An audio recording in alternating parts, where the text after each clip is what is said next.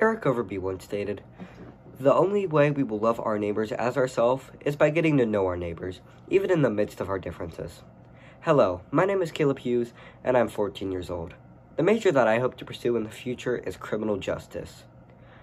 My career pursuits are to finish high school, to enroll in the University of Xavier, to get my bachelor's degree in criminal justice, go to law school, pass the bar, and finally become a lawyer. My family includes myself, my younger sister, my oldest sister, who is a sixth grade math and science teacher, my mom, who is a real estate agent for Brokers Real Estate, and finally my stepdad, who is an engineer for Townsend Engineering Company. Three of my passions are to finish college, go to law school, and start a happy life and have a happy family. With all that being said, I will now present some objects that represent me as a person. The first object that I would like to present is my cologne. Why my cologne represents me is because everywhere that I go, it does not matter where I go, I will always be wearing this. Even if that's out in public, to school, or to the gym, I will always be wearing this. And as a whole, it represents me because this is what I wear every day, and I have kind of and I've kind of started to adapt to this fragrance, and it has just been my unique scent. the next object that I would like to present is, are my AirPods. My AirPods represent me because it does not matter what I'm doing, even if I'm doing homework, I'm going out for a walk, I'm going to school, in the gym, it does not matter what I'm doing, I am always wearing my AirPods. These represent me because I'm always, I always have them in. For example, right now, I always have them in. They are a must need for me every day, and I always keep them in my pocket. The last object that represents me are my baseball sunglasses. These represent me because I'm always wearing them. Even on the baseball field or off the baseball field, I'm always wearing them.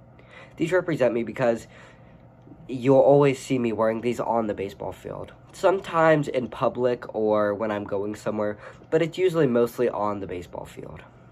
So in conclusion, these have been the objects that represent me. I will now transition with a communication lesson that I have learned from a movie. That movie being The Blind Side. In the movie The Blind Side, a boy named Michael Oher has trouble speaking with people, and he is severely shy. One day, he, he is on the playground, and a boy named RJ comes up to him and tries to talk to him. But Michael doesn't respond. So, RJ keeps talking to him, and eventually, Michael does respond. And after getting to know each other real well, RJ invites Michael over to his house, and they start a very good friendship. Later in the movie, Michael moves in with RJ, and RJ's parents adopt Michael to avoid homelessness. He also becomes a very great high school football athlete and gets drafted in the NFL. The lesson that I have learned from this is that it takes a while to get comfortable with people, but once you do get comfortable, a great friendship can be adapted with people, and you never know, maybe that friendship can go even farther.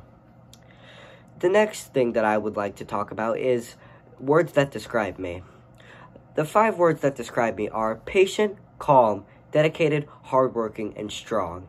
Not strong like physical strength, but mental strength. These represent me because they represent my traits as a person and how I am. In conclusion, this has been my self-introduction speech. I hope you guys learned enjoying a little bit more about myself, and I can't wait to learn a little bit more about you guys. So, with that being said, this has been my self-introduction speech, and I will now end on a quote by NPL Maxim, who once said, The reason of communication is the response that you get.